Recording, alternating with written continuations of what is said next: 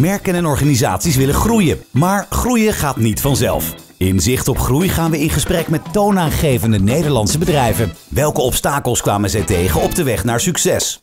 Vandaag de gast. Rogier Bruggeman, hij is eh, de algemeen directeur van eh, Zicht. In deze podcast Zicht op Groei hebben we het vaak met uh, toonaangevende merken over hun groeiproces. Maar Zicht heeft ook een interessant verhaal te vertellen, Rogier. En daarom ben jij vandaag de gast. Welkom. Ja, superleuk Tom, dankjewel. Wat hebben jullie gedaan?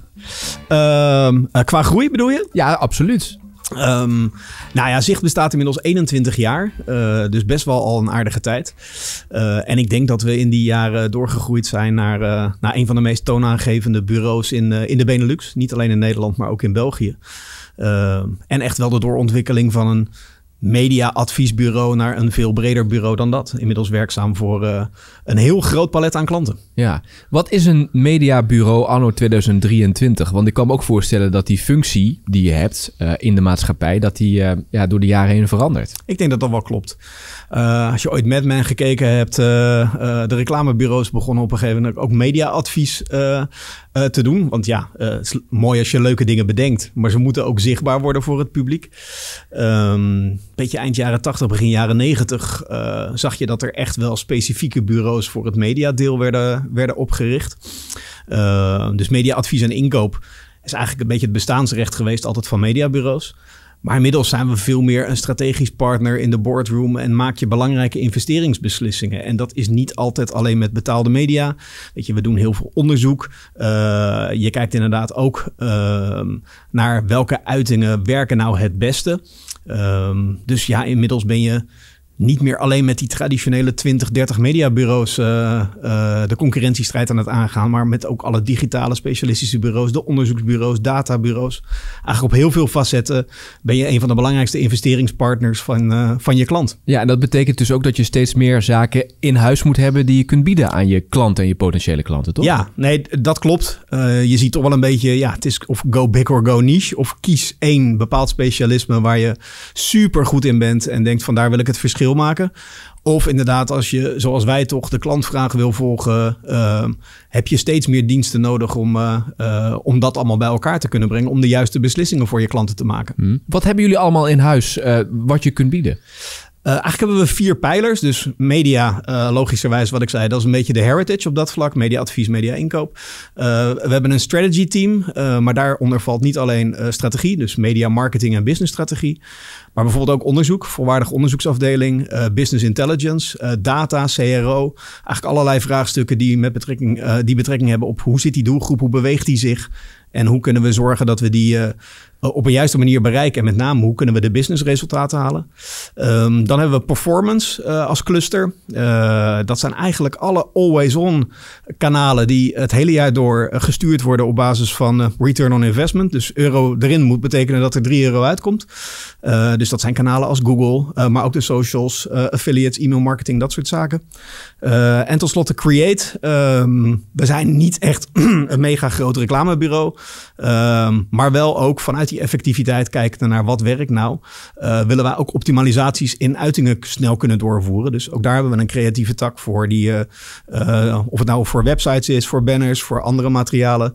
Eigenlijk zo effectief mogelijk ook de inzet kan, kan maken. En wat je dan vaak hoort bij groei is dat je er ook, hè, als je verschillende onderdelen hebt, dat je er synergie in moet aanbrengen. Je moet er een geheel van maken en het moet ook efficiënt met elkaar samenwerken. Hoe doen jullie dat? Hoe werkt het goed met elkaar samen? Ja, dat betekent dat je echt heel close met elkaar op de werkvloer uh, actief moet zijn. Dus wij werken ook echt in klantenteams. Dus een team op een klant bestaat uit meerdere uh, disciplines.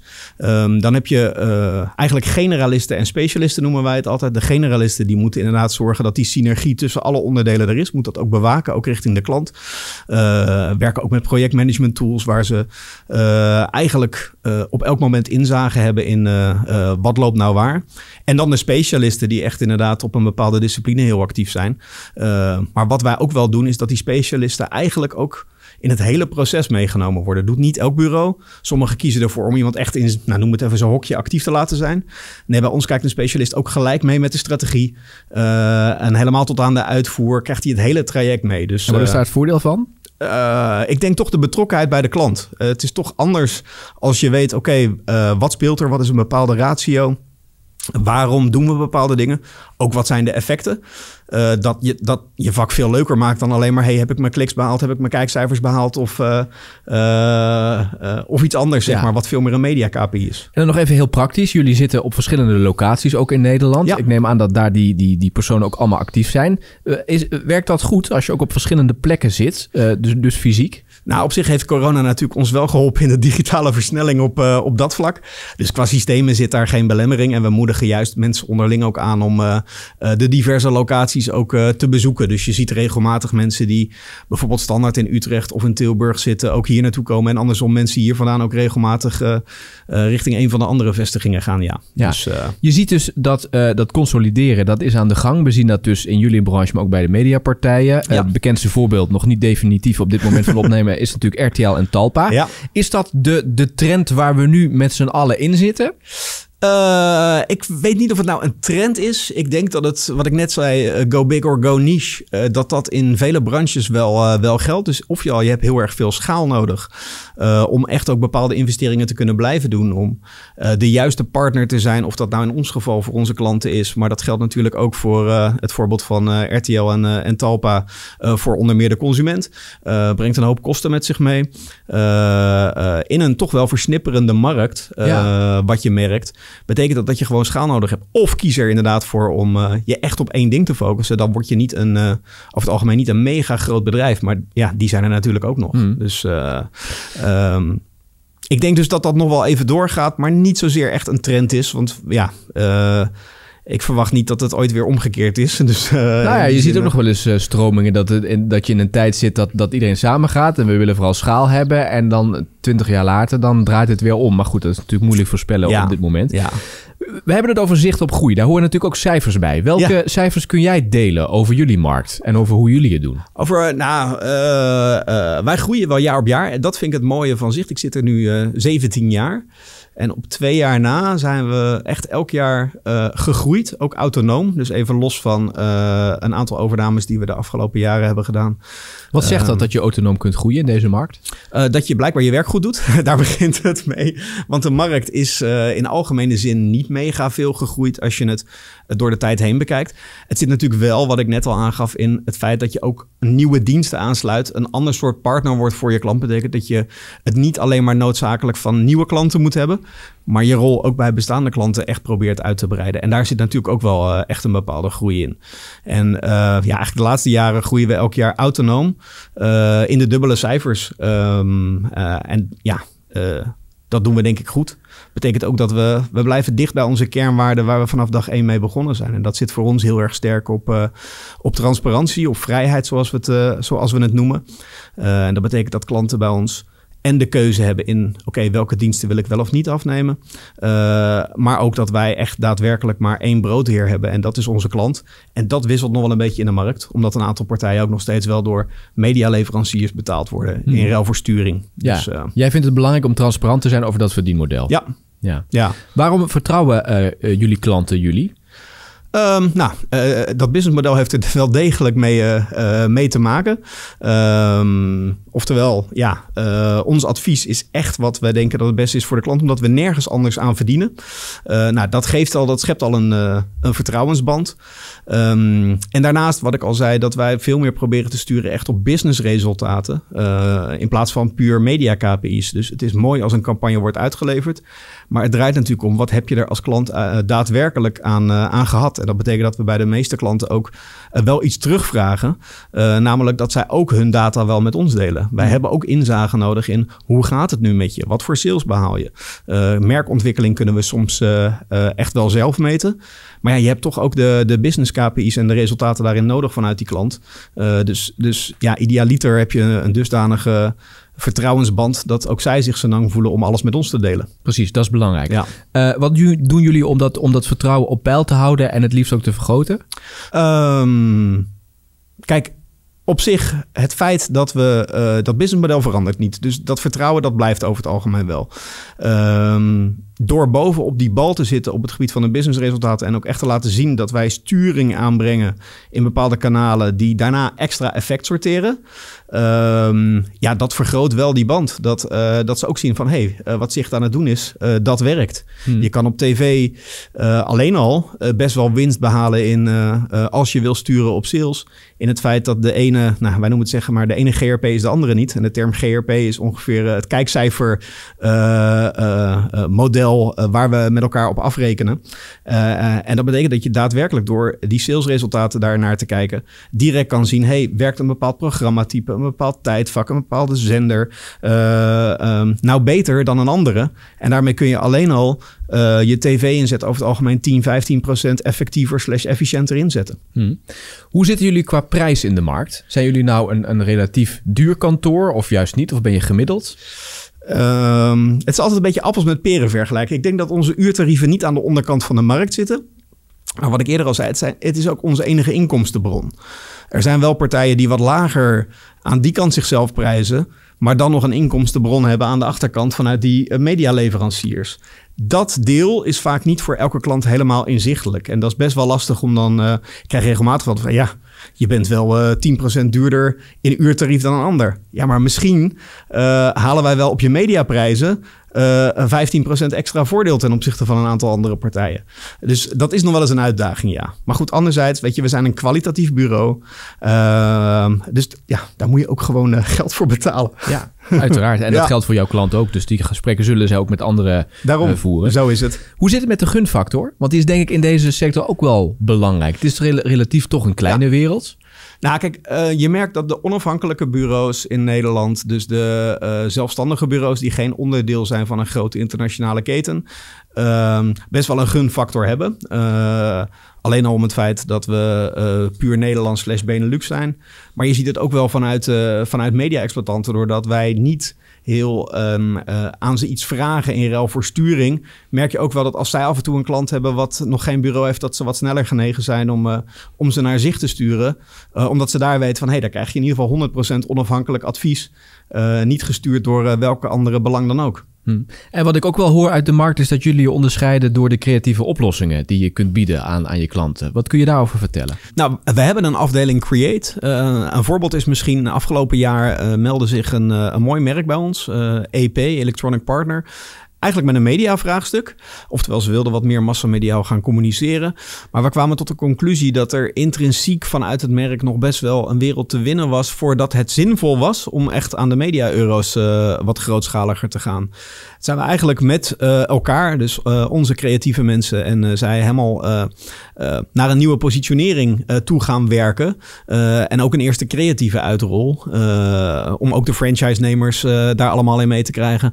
En eigenlijk dit jaar gaan we pas de stap zetten naar uh, ook daadwerkelijk uh, betaalde mediacampagnes. Hmm. En wat is daar het, wat, wat, wat, levert je dat dan op dat je die creatieve invalshoek kiest? Um, nou, wel het feit dat we uh, het vertrouwen hebben van die klant dat als ze grootschalig media-euro's uit gaan geven, dat we ook wel echt dat doen vanuit het feit dat wij denken dat dat effectief is. Uh, en op dat moment zagen wij nog te veel factoren uh, waardoor wij dachten, ja, daar gaan we niet het maximale uit die euro halen. Uh, dus eigenlijk wil je alle facetten op orde hebben voordat je grootschalig geld gaat uitgeven. Hoe zie je uh, of iets werkt of niet werkt? Uh, nou, idealiter door uh, direct op data te sturen. En data heb je natuurlijk korte termijn. Dus daadwerkelijk uh, haal je media KPI's, maar halen die media KPI's ook de business KPI's van die klant. Dus idealiter zien we inderdaad in de systemen de omzet, de afzet van klanten. En voor de lange termijn meten we voor natuurlijk veel klanten ook de ontwikkeling in uh, bekendheid, imago, voorkeur. Uh, en het is de kunst om die twee zaken in balans te brengen. Dus wij geloven altijd hier in het adagium uh, sales overnight, brand over time. het merk bouw je op lange termijn, je sales haal je op korte termijn. maar ze moeten wel in balans zijn. En het model van Lesbinet en Peter Field ziet het toch een beetje als twee variabelen. Wij proberen eigenlijk in campagnes te zorgen dat die in één balans, vaak ook wel in één set aan, aan contacten, een ideale mix vormen voor, uh, voor klanten. En je kunt denk ik ook heel snel kun je ingrijpen als je ziet van... hey, dit heeft niet het gewenste resultaat. We kunnen snel aan een knop draaien en we, we passen het aan aan Ja. eh, de, de aangepaste doelstellingen. Ja, op het moment dat het natuurlijk over korte termijn resultaten gaat, kan dat makkelijker. Waren het niet dat je wel met flexibiliteit van een aantal eh, media te maken hebt. Ehm, de digitale kanalen zijn natuurlijk heel snel te sturen. Maar je kan je voorstellen, ja, als er eh, eh, posters buiten hangen in een abri, dat die niet morgen opeens eh, op allerlei andere locaties hangen. Dus je neemt soms ook learnings mee voor een volgende flight. En soms kun je inderdaad bijna real-time sturen naar effect. We nemen deze podcast op in januari 2023. Eh, het jaar ligt voor ons. Ja. Waar, waar liggen de groeikansen wat jou betreft voor zicht dit jaar? Ehm, nou, ik denk dat we, we gaan door op de weg waar we nu zitten. Eh, we gaan dit jaar ook vol inzetten om eh, onze eh, Belgische tak te verstevigen. België zijn we elf jaar geleden gestart, dus tien jaar na Nederland. Ehm, en daar zien we eigenlijk dezelfde bewegingen als we in Nederland hebben. En dat betekent dat we op het digitale vlak en zeker op het always-on performance vlak eh, daar ook versterking nodig hebben. Eh, en voor Nederland zit de groei met name in. eh, we hebben afgelopen twee jaar een aantal bedrijven aan ons weten te binden. Op andere locaties dan Hoofddorp. Dus inderdaad in Utrecht, Tilburg en Arnhem. Nou, die zijn nu per 1 januari echt ook onder de naam Zicht actief. En wij denken dat we daar met elkaar nog een veel sterkere propositie hebben om eh, eh, dat aan onze bestaande en nieuwe klanten over te brengen. Dus, Ja. eh, dus met name in die propositie en de manier waarop we naar buiten treden, ja, daar wordt op dit moment hard aan gewerkt. Hoe ga je het onderscheid maken op, op data? Dat blijft natuurlijk een hele voorname rol spelen. Maar hoe kun je daar het onderscheid ook maken voor je klanten? Ik denk met name op het functionele gebruik van data. Er zijn heel veel partijen die eh, grossieren in dataoplossingen waar je vooral heel veel uit krijgt. Het is met name de kunst om eh, eh, te zorgen dat het niet heel veel is, maar heel actionable is. En dat je ook op de juiste eh, KPI stuurt. En dat is ook wel, wij maken dashboards voor klanten. En we krijgen vaak de vraag van een klant: Oh, kan dit er ook in? Kan dit er ook in? En op een gegeven ogenblik wordt het een monster of een gedrocht waarbij je echt niet meer weet waar je nou naar aan het kijken bent. Dat we eigenlijk zeggen: joh, laten we altijd in de overview echt alleen de dingen zetten waar we primair op sturen. Ehm, en eh, die ook voor iedereen in, in de keten inzichtelijk maken. Dus ook als er andere bureaus nog actief zijn op het account, een reclamebureau, ja, geeft die dezelfde KPI's mee. Het reclamebureau moet niet als eh, KPI krijgen, maak iets moois wat een, eh een San Accent, een FI of iets anders wint. Nee, het moet daadwerkelijk bijdragen aan die businessresultaten. Wil dat, wil dat dan ook zeggen dat je de data die minder belangrijk zijn voor deze doelstellingen misschien niet meer uitmeet? Of daarmee stopt? Uh, we zetten ze in ieder geval op plan B. Uh, vaak meten we ze nog steeds wel door, maar zetten we ze aan de achterkant, om het zo maar te zeggen, uh, in een verdiepingsdashboard voor de freaks, als ik het zo mag zeggen. Want er zijn altijd mensen die op één bepaald onderdeel natuurlijk ook hun, uh, hun eigen KPI's hebben. Maar het is wel. Uh, een campagne, bijvoorbeeld alleen al een digitale campagne sturen op doelstelling A of doelstelling B, ook al zijn ze beide belangrijk. Als je niet kiest welke nou echt het belangrijkste is, krijg je allemaal van die compromiscampagnes. Uh, want dan moet hij een beetje voldoen aan dit en een beetje aan dat. Ja, dat schiet over het algemeen niet op. Oké, okay, compromissen werkt niet. Je nee. moet een keuze maken. Ja. Oké, okay, kleur bekennen. Hey, je zet ook in op de groei bij bestaande klanten. Dat krijgt een nog nadrukkelijkere rol. Ja. Waarom kies je daarvoor? Um, omdat we nu uh, met uh, de nieuwe uh, aangesloten locaties ontzettend veel klanten hebben die nog maar in één niche actief zijn bij Zicht. oftewel, zij hebben die bureaus gekozen. Zijn over het algemeen digitaal georiënteerde bureaus. en sommige daarvan in één specialisme. Bijvoorbeeld het bureau wat we in Utrecht hebben overgenomen zat puur op social performance. Dus het gebruik van de sociale kanalen op, op performance vlak. Um, die werken voor heel veel andere diensten nog met andere partners. Soms is dat ook helemaal prima. We gaan niet overal nu heel geforceerd onszelf uh, tussenwurmen. Maar we zien her en der wel kansen om uh, dingen toch scherper te maken. Uh, kanaaloverstijgend beter te kunnen sturen. als we daar een bredere scope of work voor elkaar krijgen bij, bij die klanten. Mm. Dus ja, eigenlijk gegeven door het feit dat over en weer de klanten die in Hoofddorp, uh, wij noemen het even het oude zicht al zaten, en de hoeveelheid klanten op alle nieuwe locaties, zijn het er zoveel en is daar nog zo'n wereld te winnen, dat we, dat we denken dat komend jaar uh, goed is om uh, die kansen in ieder geval te gaan benutten. Precies, laten we die namen ook even noemen, want misschien kennen luisteraars die wel van de partijen die je dus hebt overgenomen en die dus nu onder de nieuwe naam, de, de ja. zichtnaam eigenlijk ja, actief gaan zijn. Ja, geen probleem. dat was allereerst Created First uit Utrecht, met name gericht op op, uh, op social performance. Uh, Pure Internet Marketing uit Arnhem, een breed digitaal marketingbureau. Yellowhawk uit, uit Tilburg. Ehm, eigenlijk met name gespecialiseerd in, in alle oplossingen van Google. Ook wel iets breder. Maar met name echt, zij waren ook premium Google partner. Um, en tenslotte nog Est, zaten in Leiden, maar zijn vorig jaar al naar, naar Hoofddorp verhuisd.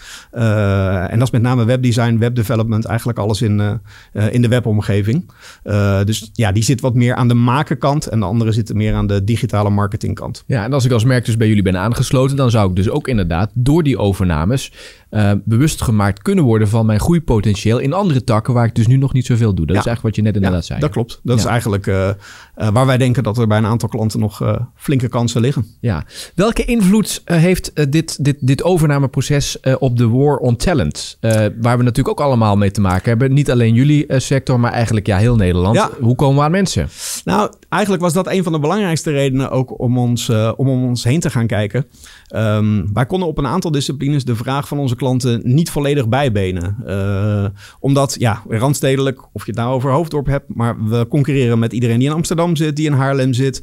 Uh, is het gewoon lastig om uh, op elk vlak, als je flinke hoeveelheid mensen nodig hebt, om die ook uh, te vinden en voor langere tijd aan je te binden. Dus juist door te gaan kijken naar locaties die niet uh, eh, 50 meter verderop zitten, om het zo maar te zeggen.